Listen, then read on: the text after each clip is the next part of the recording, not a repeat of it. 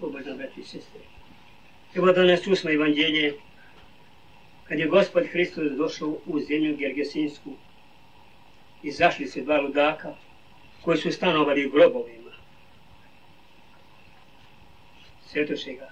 Gde nije onim putem smio niko da prođe, to bio izubivan na mrtvu. Kad je gospod došao, oni kažu, Sine Božji, što si došao? Pre vremena da nas mučiš. Znači, djavo zna da on postoji kraj kad će biti mučen vek vekova, bez kraja. Ali sad otkud ovo? Da se on straši i da on beži. Ko je taj? Znači, djavo je predosjećao. A gospod mu zapreti da umukne da ne govori. Zašto? On je rekao istinu, ali neće gospod da se lažnim ustima govori istina. Vedemo, a djavoli kažu, ako nas isteruješ iz ove, ove ludake, dozvoli nam da uđemo u svinje. Gle, djavo nema pravo ni u svinju da uđe. Svinja je beslovesno biće. Ali on zato straži od gospoda dozvolu. A čovjek je razumno biće. On mu sam dozvoljava. U njega uđe. Kad otvorimo knjigu vidimo dve stvarnosti. Boga i djavola. A između njih čoveka veoma je strašno, braći i sestre, živjeti na ovome svetu gdje postoji djavo. Veoma je strašno živjeti. I tu gdje čovjek reši, između njih stoji da se opredeli kome će da služi, u čijoj će državi da se upiše, u toj državi će biti i u onome svetu. Čovjek čim veže ugovor sa djavolom. To jest, čim jedan greh navikne i čini ga toliko, da ne može bez toga. On je se već upisao u društvu djavola. On je već podao državljanin satanski i njega će satana da vodi gdje? U svoj raj, to jest u pakao. Ali gledamo, Bog je dao čovjeku toliku silu da ima pravo, da ima vlast nad satanom. Gledamo jednu stvar. Mnogo je lakše činiti zlo. Zašto? Djavo primorava čoveka da čini zlo, tako mu on premaže stotim deo od milimetra jednu stvar, kao izgleda slavka, a dolje sve smag i učina. Gledamo, dragi moji. A zato je čovjek toliko moćan. Svaki čovjek ima anđela svoga, koji da pomaže pobjedi satana. Svaki greh je jednim krajem vezan za djavola, drugim za pakao. Kako? znači svaki greh nanosi smrt. Znači smrt i pakao su braća. Dragi moji, nemoj da se šalimo sa ovim životom. Veoma je strašno živjeti ovdje, ovome svetu.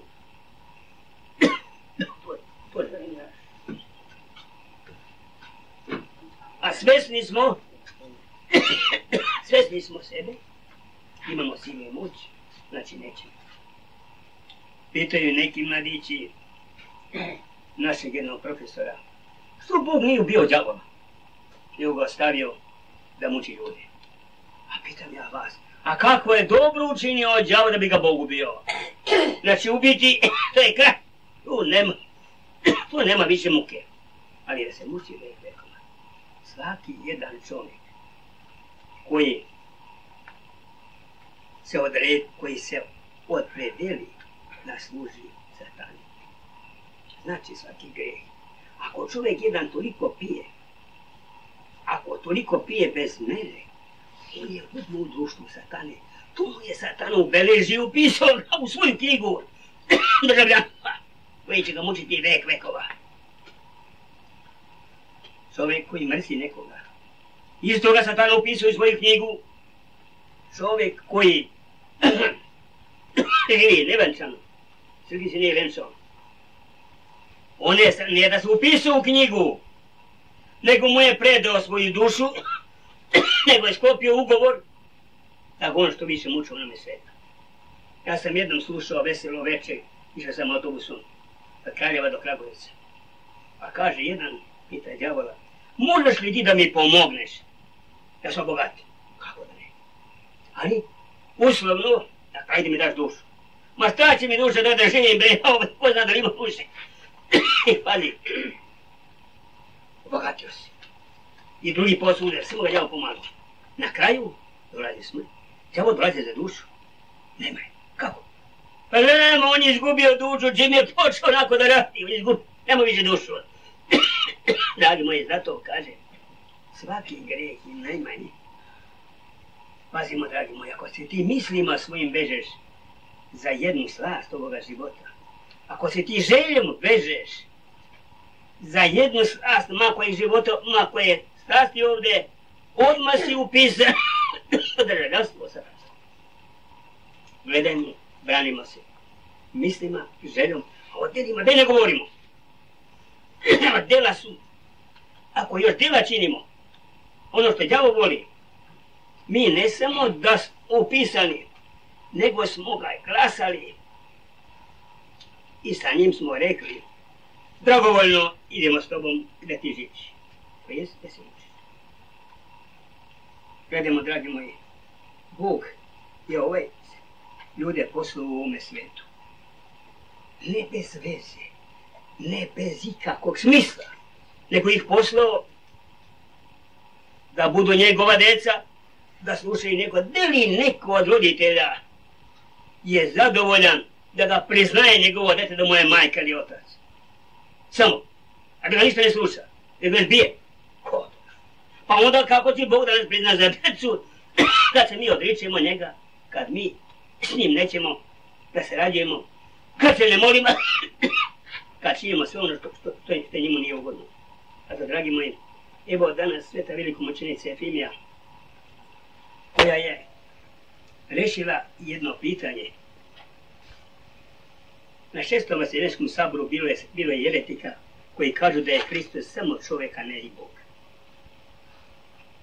Car je rekao, Teodosije, napišite vi koji tako mislite i napisat će hrišćani kako oni misle.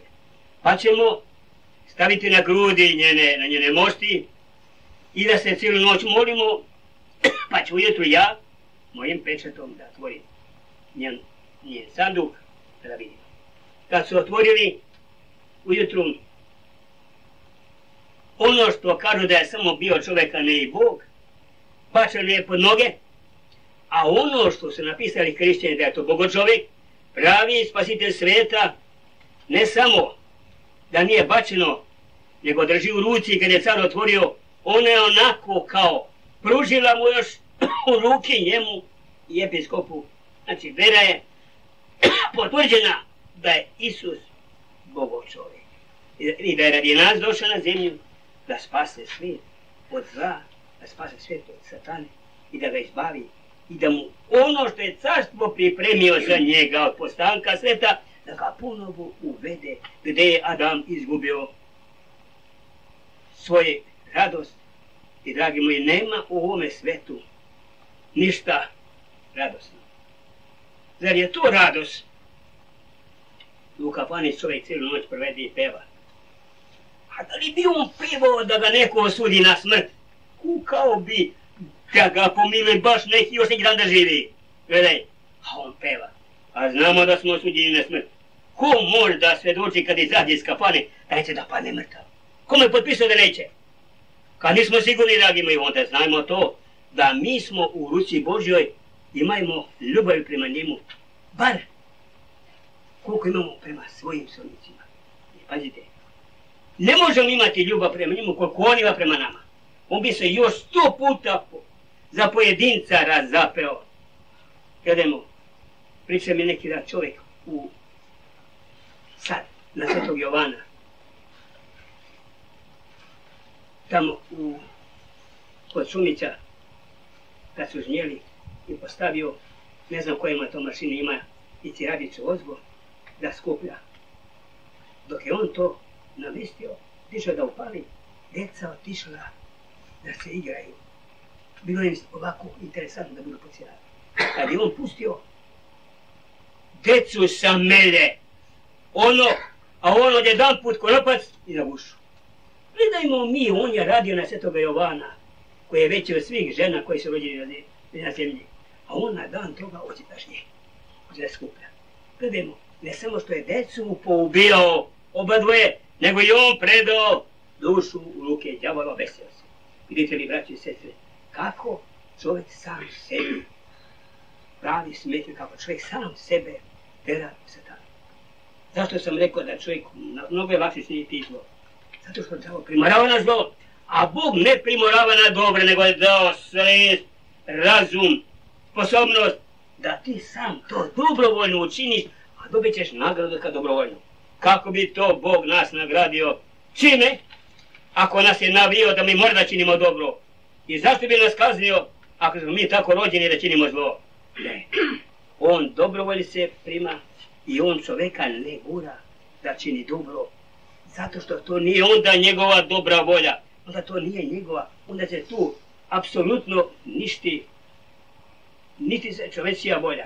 A on neće da čoveku volju njegovu. Rečenje njegovo da on nakazi, da ume. Zato kažemo. Učinimo ono da budemo deca Božja. Stavimo pečat na svoju veru. Pečat delama, delima. Svaki onaj koji kaže da je zena prija i da nešto zna, treba ima pečat.